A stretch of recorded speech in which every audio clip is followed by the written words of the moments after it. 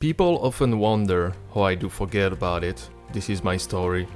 I wake up, go take a shower, then realize I'm French, so I don't. I drink a coffee, like a boss. I'm sad for a couple hours. Then I decide to write a script. Wait, I write scripts? So you mean everything is written down? Whoa, amazing. I know, right? Then I realize it's way too clever, so I delete everything. Then I watch stupid videos to lower my IQ. Hello and welcome to Atop the Fourth Wall. Hello I'm the Nostalgia Crit. Then I rewrite and forget about it for dummies. Then I print it, like a boss. Then I sit and press record, and it's where it all happened. I say the stupidest and most irrational things. Spoony is funny. Yes, I would really like to meet your parents. I played Chrono Trigger Pal. Suburban Knight and Kickassia are the funniest movies ever. I'm never depressed or feeling lonely.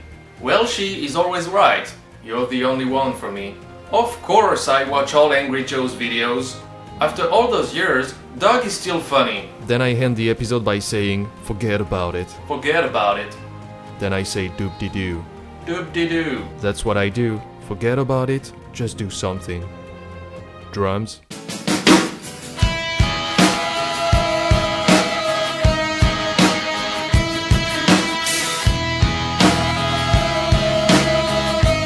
First thing to know about this huge phenomenon is that people that are above 18 and are fans of the show call themselves bronies. It's a combination of bros and ponies if you have trouble following. So now you can easily picture us grown up sweaty guys gathering in one room with beers and Cheetos to watch a favorite episode of a little girl cartoon show about little horses farting rainbows and hearts.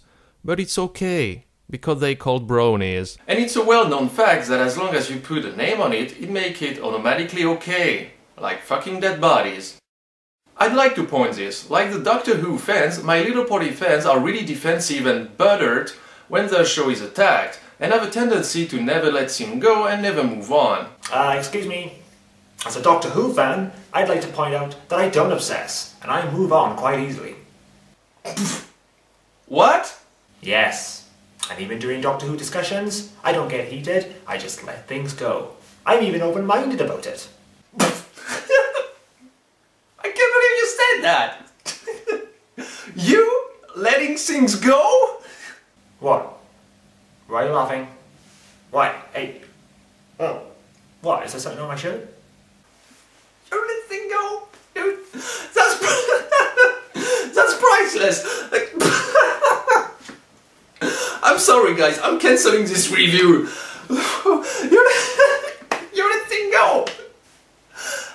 I'm cancelling this. I mean, I, I don't even care about My Little Pony. It's a show for little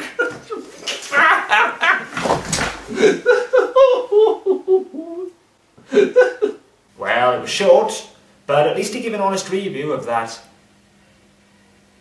thing.